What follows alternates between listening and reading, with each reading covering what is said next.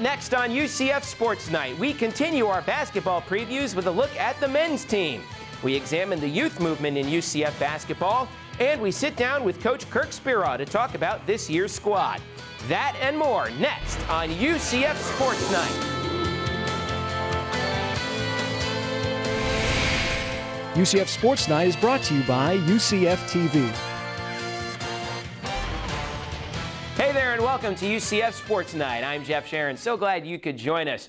This week we continue our basketball previews with a look at the men's basketball team. We'll get to that in a few moments. But first, let's check out the highlights of the week. And we start with the men's golf team as they headed down to Isleworth to participate in one of the biggest college golf events of the year, the Isleworth Collegiate Invitational. A warm and windy weekend in Windermere at the exclusive Isleworth Golf and Country Club. The Knights faced one of the toughest fields outside of the NCAA tournament at the Isleworth Collegiate Invitational. Nuno Enriquez was the top Knight. He finished tied for 25th overall at 10 over par. Also, Brad Schneider came in a stroke back of his teammate. Here he saves par with an up and down on number 16. Simon Ward was the only other Knight in the top 50. UCF finishes tied for 13th as a team at Isleworth as they now head into their winter break. Meanwhile, down in Fort Myers, the women's golf team came up big in the Pat Bradley Invitational hosted by FIU. UCF finished in third overall. Freshman Valentina Fontaine finished in second place in the medalist standings at 5 under par. Katie Detlefson also finished tied for eighth at 2 over. Back at the soccer complex, men's soccer took on conference foe Kentucky, and the Knights got a tremendous performance from Sean Doyle, who picked up eight saves in goal for the Knights, just one short of a career high. This was a tough battle, scoreless into the second half. The Knights were trailing 1 to nothing when Ben Hunt got a run at it on the left side, and the gorgeous pass across to fellow New Zealander Nick Robeson, who plants it in the net to tie the game. This thriller would eventually go to overtime, but in the end, Kentucky would escape the soccer complex with a 2 1 victory. Two nights later, a big night for the eighth ranked women's team as they could wrap up the outright CUSA regular season title with a win over Southern Miss. And it was senior night at UCF as more than a thousand fans paid tribute to seven senior Knights. And then it was time to get down to business on the field. Barely two minutes in, Becca Thomas fires from the top of the box for the Knights' first goal of the game, her sixth of the year, and she and the seniors run over to celebrate with their injured fellow senior, Brianna Schooley. This one would be a rout. Courtney Whitten got into the act in the 32nd minute with her ninth goal of the season, and then Katie Jackson picked up a tally to make it 3 0 at the break. Nicolette Radovcic would add the final marker, and the Knights go on to the 4 0 win, and they clinch the Conference USA regular season championship for the third time in five years and for the first time outright. They finish with a school record 10 conference wins. On the road, volleyball had a tough match against UAB. The Blazers picked up the win in four despite 15 kills and 11 digs from Erin Campbell in her first match back from injury. In Dallas, men's soccer ran to a 3-3 draw with SMU. The Knights got a goal in the first minute from Malcolm Reed and later tallies from Yaron Bacher and Nick Robeson. Sean Doyle picked up a career-high 10 saves. Back at home, softball finished up their fall season with the UCF Fall Invitational. The Knights dominated their pair of games this past weekend, beating Rollins and Bethune-Cookman by a combined score of 17 to nothing. Mary Helen Tyler had a couple of RBI doubles in the Rollins game, and Christina DeMello gave up just one hit on the day. Men's tennis was at the USF tournament, and Mark Rocafort and Blaze Schwartz provided a big highlight, winning doubles flight one with a 3 0 record. Cross country was in Houston for the Conference USA Championships. Jamie Rispecki took home CUSA Outstanding Senior of the Year honors. She was one of three Knights in the top 50 in the individual standings. Collectively, the Knights finished in ninth place. Up in Memphis, the volleyball team saw five players hit for double-digit kills, but it was not enough as the Knights fell to the Tigers in five thrilling sets. Erin Campbell led with 16 kills, and Lauren Williams had 15 and a 462 hit percentage. Back at home, Sunday night football at the Bright House as UCF and Marshall took to the field. The Knights trailed 20 to 7 in the fourth, but after a Bryn Harvey score, Bruce Miller forces a fumble, and the Knights get the ball back with under two minutes to go.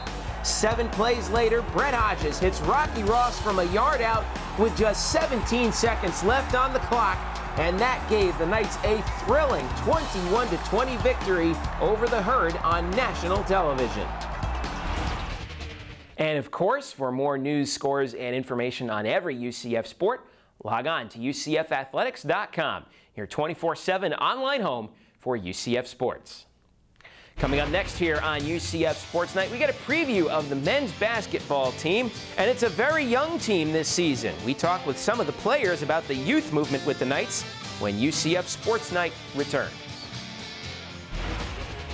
Knight fans, it's time to armor up in black with your UCF Knights on Saturday, November 14th as they host the Houston Cougars at noon on homecoming weekend.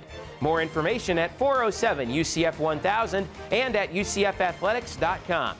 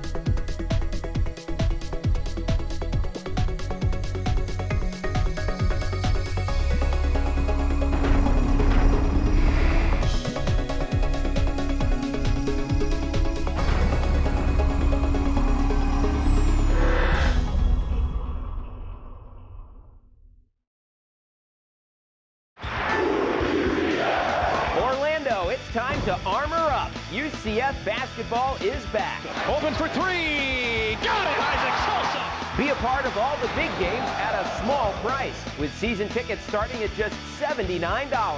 Rompza floats it up. It rolls in. Ball game over. Season tickets are on sale now. To reserve your seat today, call 407 UCF 1000 or log on to UCFathletics.com. Armor up.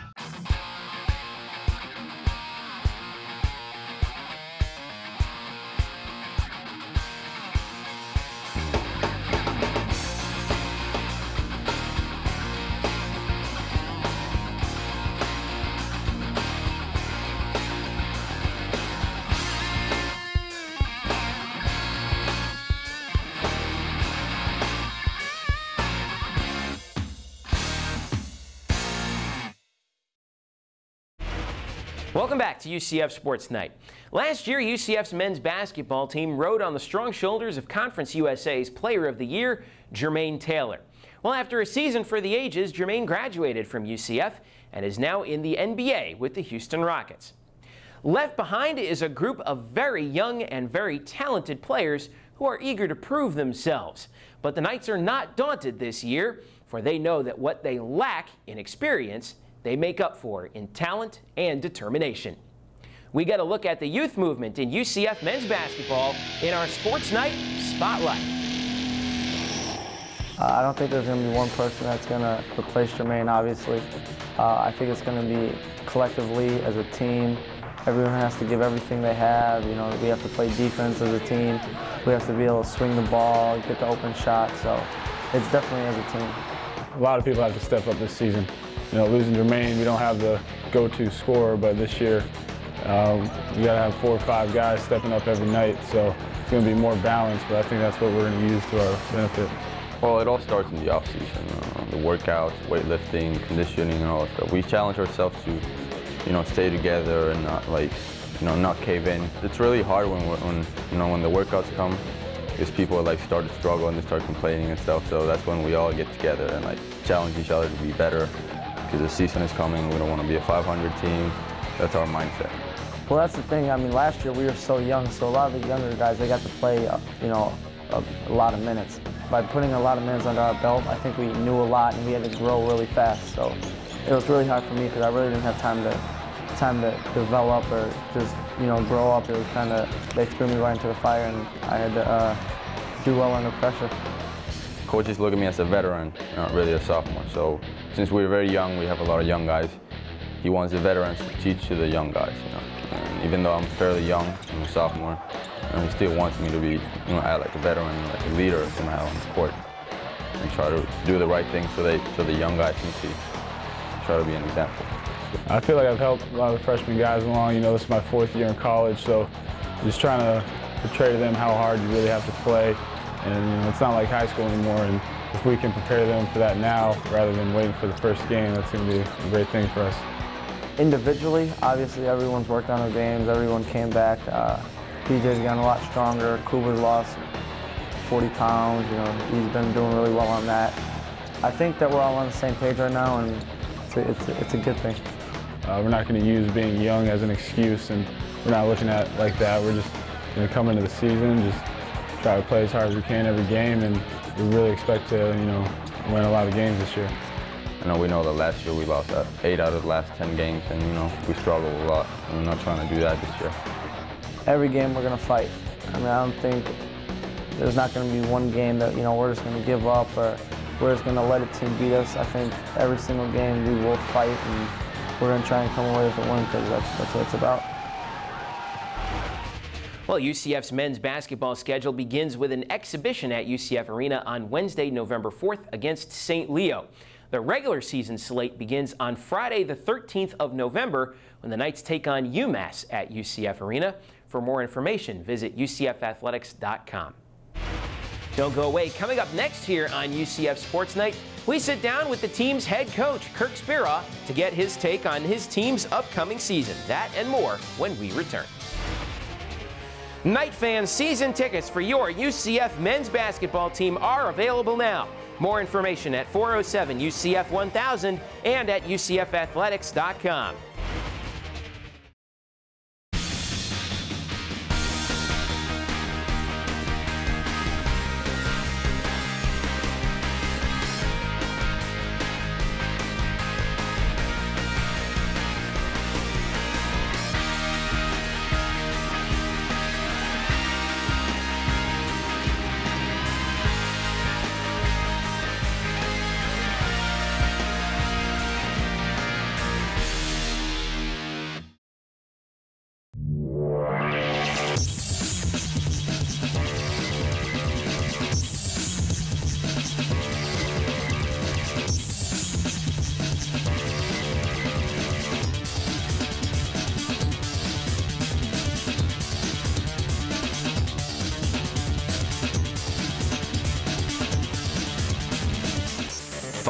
the Florida Interactive Entertainment Academy. Don't just get into the gaming industry, lead it.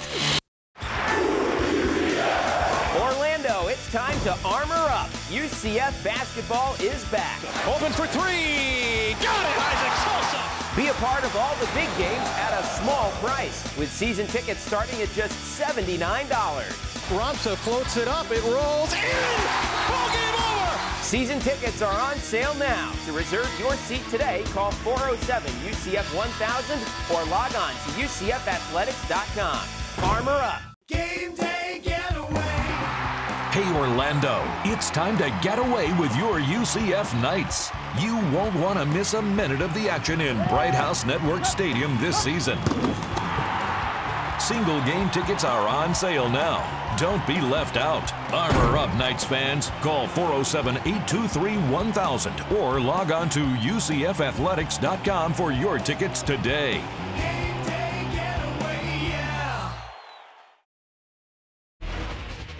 Welcome back to UCF Sports Night, and joining me now, the head man from UCF men's basketball, head coach Kirk Speraw, joining us for the first time this year. Coach, how are you? Doing well, Jeff. How are you? Doing well. Thank you so much for taking some time with us.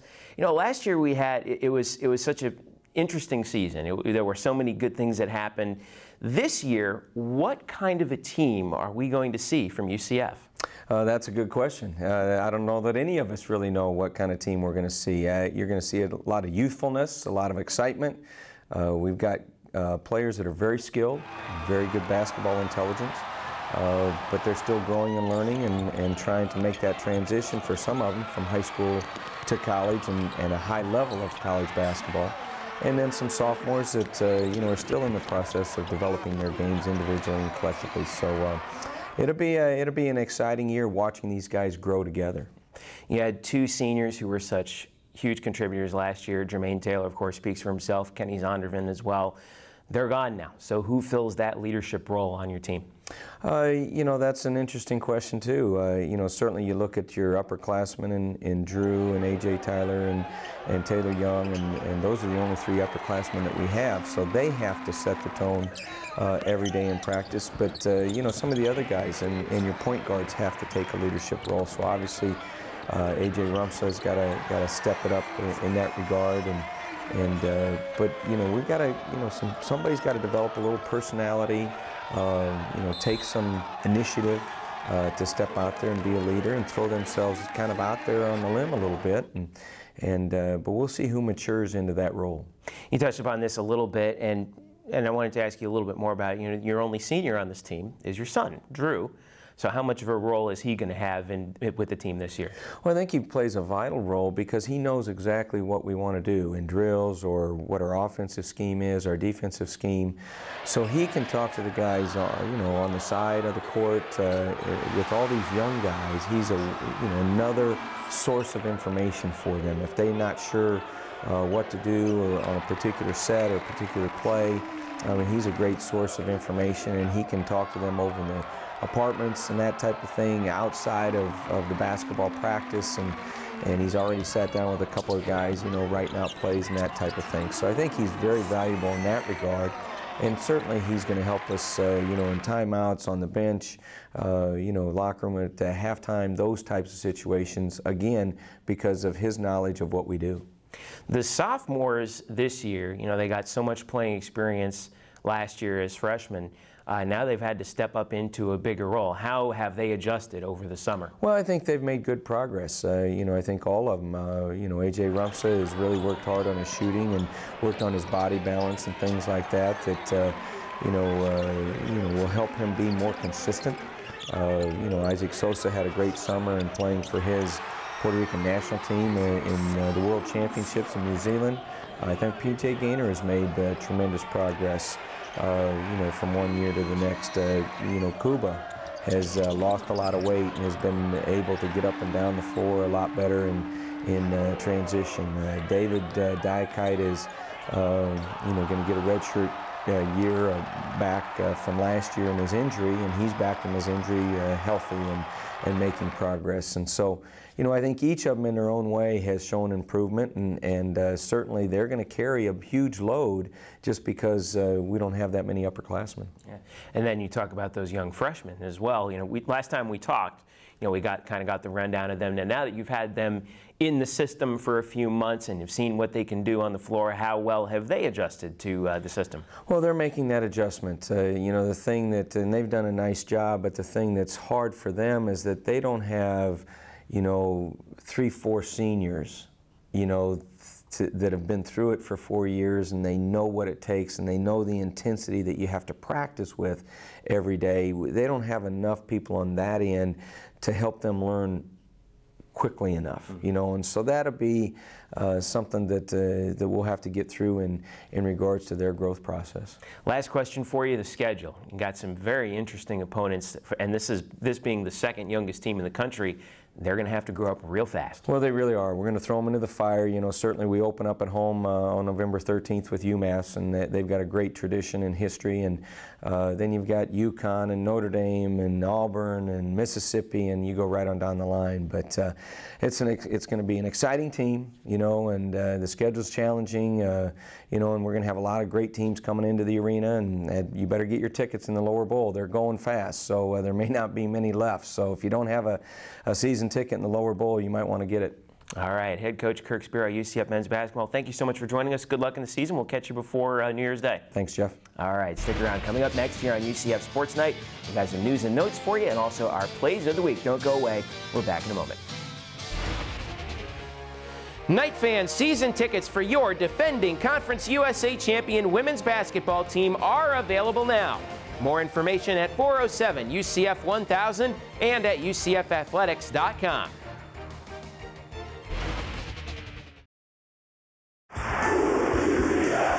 Orlando, it's time to armor up. UCF basketball is back. Open for three. Got it, Isaac Sosa. Be a part of all the big games at a small price, with season tickets starting at just $79. Rompza floats it up. It rolls in. Ball game over. Season tickets are on sale now. To reserve your seat today, call 407 UCF 1000 or log on to UCFathletics.com.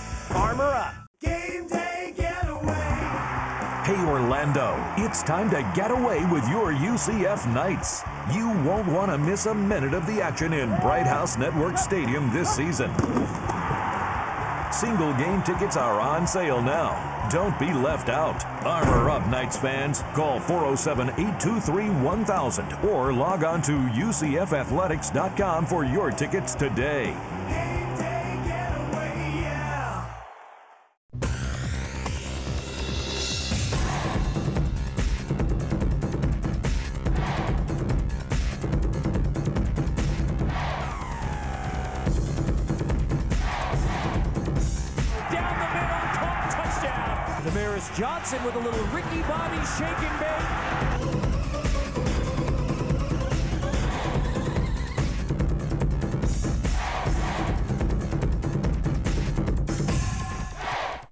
Hey, Knight fans, check out all the latest UCF action on UCF Sports Night. Join us as we recap all the highlights of the week from every UCF sport, plus all the features and interviews that take you inside the world of UCF athletics. If it's UCF Sports, it's on UCF Sports Night. You can catch UCF Sports Night all season long on UCF TV and also on Bright House Sports Network and Sun Sports. Check your local listings for details. Welcome back to UCF Sports Night. Plays of the week are coming up in a moment, but first, let's have a look at some news and notes from the week. The women's soccer team is moving up the national polls again. The Knights are ranked eighth in the latest NSCAA coaches poll. It marks the first time since October 1992 that the Knights have cracked the top 10. Head coach Amanda Cromwell's team now heads out to Dallas for the Conference USA Championship Tournament November 4th through the 8th. And the Knights' A.J. Guyton has been named the Bright House Student Athlete of the Week this past week. Guyton posted a remarkable performance at Rice last Saturday with three catches for 103 yards, including a 76-yard touchdown from Brett Hodges on the first offensive snap. Guyton also threw a 32-yard touchdown to Kamar Aiken on a reverse pass. In the process, he became the first Knight to throw and catch a touchdown in the same game since UCF Hall of Famer and current assistant coach Sean Beckton did it back in 1990. Time for our Sports Night plays of the week. Play number three for men's soccer. Watch the gorgeous pass from Ben Hunt to Nick Robeson, who finds the back of the net against Kentucky. A gorgeous play by the New Zealanders against the Wildcats. Play number two, football against Marshall. 17 seconds to go. After a miraculous turnover, Brett Hodges hits Rocky Ross from a yard out, and that gives the Knights a huge victory over the thundering herd of Marshall on national television at Bright House Network Stadium. But play number one belongs to women's soccer on senior night against Southern Miss. Becca Thomas with the sweet turnaround fires the shot and rattles the cage. And the best part right here, she and the other seniors on the field go over to their fellow senior, Brianna Schooley, who missed virtually the whole season with an injury, and celebrate with her on the sideline. An emotional night for the number eight ranked team in the nation. And those are your Sports Night Plays of the Week. The sports schedule at UCF really heats up in November as we look at the week ahead. It starts on Wednesday with the first basketball game of the season at UCF Arena as the men's team takes to the floor to face St. Leo at 7 p.m. in an exhibition game. Meanwhile, the postseason begins for women's soccer as they head to Dallas for the Conference USA Championship hosted by SMU. The Knights have a bye in the first round, so they won't have to play until the semifinals on Friday. You can catch that game live on UCFathletics.com. The championship game is scheduled for Sunday at 1 p.m., and it is televised on CBS College Sports. Back on campus on Friday, women's volleyball has a big match with Tulsa. Things get underway at 7 p.m., and you can see it live on UCFathletics.com. Women's tennis is also in action. They head up to Tallahassee to take part in the FSU tournament. That event goes through Sunday. This week, the baseball team concludes its fall season with the Black and Gold World Series. The first two games are in the morning on Tuesday and Thursday, and the last intra-squad game will be on Friday night at Jay Bergman Field. Saturday, the football team has a big road test as they head out to Austin to face the Texas Longhorns in their final non-conference game of the regular season. It's an early kickoff for UCF, noon Eastern time, and you can see it live on Fox Sports Florida or hear it on the Knights' flagship station 740 The Game. Later that same night on campus, the men's soccer team plays its final home game of the regular season against Tulsa. You can see that game live on UCFathletics.com. And Sunday is a big day at UCF Arena. It all starts at 1 p.m. when the volleyball team hosts senior night in the venue. They take on SMU in that match. You can see it live on UCFathletics.com. Then when that's over, head across the hall to the arena to see the women's basketball team play their exhibition game against St. Leo. Tip-off there is set for 3 p.m. On Thursdays, tune in for the George O'Leary Call-In Show presented by Buffalo Wild Wings. Join the coach and the voice of the Knights, Mark Daniels, as they talk UCF football every Thursday live from Buffalo Wild Wings in Waterford Lakes. You can hear the show on the Knights flagship station 740 The Game or at UCFathletics.com. Also on Sunday, tune in for UCF Sports Today with Coach O'Leary, presented by Holler Classic. Join the coach and Pat Clark for insight, analysis, and in-depth features at noon on WESH 2 and also throughout the week on UCF TV, Bright House Sports Network, and Sun Sports. And a reminder, you can catch UCF Sports Night every Tuesday at 8 p.m. on UCF TV. The show also airs throughout the week on Bright House Sports Network and Sun Sports. Check your local listings for details. And for all the latest news, scores, and features from every UCF sport, log on to UCFathletics.com, your 24 7 online home for UCF sports. And of course, if you want to catch this edition again or you want to see any of our archived editions of UCF Sports Night, you can anytime you want online. All you've got to do is visit UCF TV's website, which is www.ucf.tv. Well, that'll do it for us for this week here on UCF Sports Night. We'll catch you again next week. For all of us here at UCF Athletics and UCF TV, I'm Jeff Sharon saying thanks for watching and go Knights! Hey, this is LT from 1011 WJRR. You're listening to the best sounds of area music. UCF Athletics, Access Magazine, and WJRR are proud to support local artists. You can find more great artists by going online at www.wjrr.com and also accessmag.com. And by listening to Native Noise each and every Sunday at 11 o'clock. UCF Sports Night is brought to you by UCF TV.